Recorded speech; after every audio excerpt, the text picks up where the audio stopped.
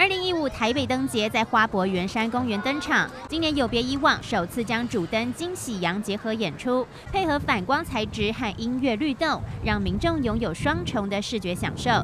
更将传统元宵节猜灯谜的活动巧妙结合科技，使用手机 App 猜灯谜，不用排队，不用手抄，线上抢答就比谁的手脚最快。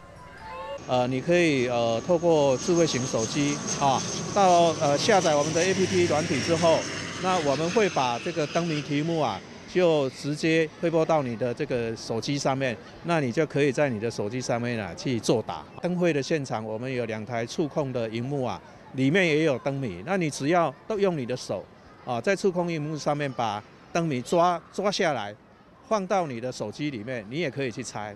还有这个传统祈福是把文字写在纸上。今年台北灯节祈福卡大有玄机，拆下中间的纸卡后，您会发现背面藏有 QR code，随时一扫都能把神明公仔带在身边。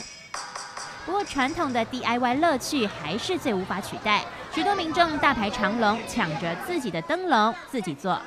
大家随机的那个样式都不一样，对。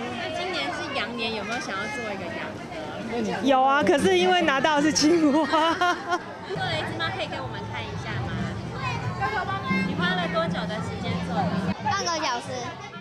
今年台北灯节还特地规划了羊年主题区，让民众感受喜羊羊的气息，也有来自各大专院校的杰出作品。不过，智慧新科技结合元宵节传统，才是让民众最印象深刻的新创意。